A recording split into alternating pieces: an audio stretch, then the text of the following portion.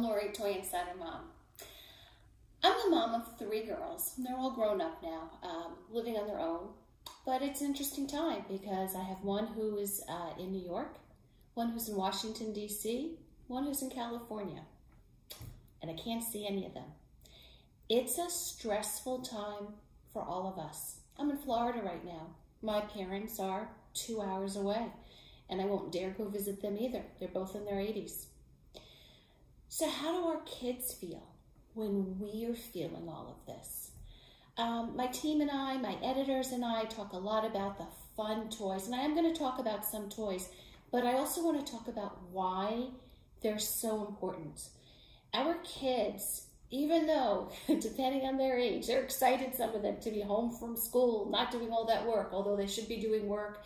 There are different ways that kids are keeping up. Um, they know, even the youngest ones know, that something's not right in the world right now, and it makes them anxious. And everyone handles that anxiousness in different ways. So, one of the things I want to share are allowing our kids to have besties, allowing them imaginative play, and allowing them to play out their feelings, sometimes with a fun friend. So these are really cute. These are Tinkle Crinkles. Um, it is a baby toy. It's got the sound, it's got the pulls. But one of the things that I remember as a mom, especially when I had my first daughter, I do have three girls, and then I was pregnant with my second, and the same thing happened again is that when things are stressful for little children, for our youngest, for our toddlers, they might regress back a little bit. And this might have been their favorite little stroller toy. And even if they're out of that stroller or out of that crib, this little guy, who happens to be really cute from Gund, um, it might be the thing that helps them sleep through the night. So remember that they're never too old for the things that used to be their favorites. Um, these are really cute. These are Squeezamals. So unfortunately through the camera you can't smell them, but I do love scented toys, especially when they really smell good. So these are squishy little pets. I have a bunch of them right here. I am also, by the way, keeping a lot of the tags on these toys even when I show them, because when all of this passes, and it shall pass, um, there are so many local charities that can use these toys, and I know with a lot of them won't take it if the tags are off, if the packages are open. So I do want to be able to make sure that I can give it all away once I am back in my office and back to traveling around. Um, but these are great because they're inexpensive, they're little, uh, and for this and the next toy I'm going to talk about, not only will kids sleep with them, take them anywhere, they're soft, they're wonderful, and they feel comforting, but once they have a few of them, they're going to make up fun stories, and it could be about the fact that we can't go out today. Nope, we can go in the backyard, but we have to play all by ourselves. So you just never know. Um, Hairdorables. Uh, I'm a doll girl. I always have been. Hairdorables is actually one of my favorite lines because uh, these girls all have big hair, don't care attitudes.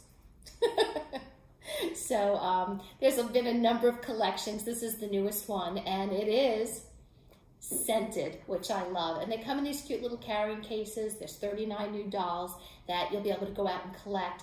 Each one of the carrying cases has 11 surprises. We do love the surprises inside. Um, but again, kids are going to be collecting them using their original hair Hairdorables, their new ones acting out scenes. It's such a healthy way, especially if they're not talking to you about how they're feeling. They'll do it when they're playing. Um, and pets. You know, our kids are always asking for pets. Uh, you know, my kids were lucky. I'm a, a, dog lover. We always had a dog in the house. Uh, unfortunately, we ended up um, saying goodbye to our little dog uh, about nine months ago or so. Uh, my husband still has his cat. I say that because because I like the dogs better than the cats, but I'm a cat person too. Anyway, uh, there's lots of other ways to have pets. And in a time like this, there's nothing like nurturing your pet. So um, remember Tamagotchi?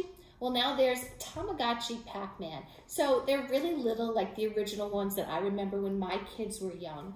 Um, and kids are nurturing, except instead of their regular Tamagotchi pet, it's like a little Pac-Man pet, but they're feeding it, they're taking care of it, and it helps them with that whole responsibility thing that they need to feel and want to feel. They want to feel like they're doing something, taking care of something. So they're going to have fun with it. When we go back to school, they're going to hang it right on their backpack. But in the meantime, it's good for them to get into that nurturing mode, helping with their pet virtually, helping with any live pets you might have around the house, and helping with any younger siblings. And finally, because we all have to have a sense of humor through all of this. this is Mushy Belly. Now, I chose one of the big ones. They come in different sizes, but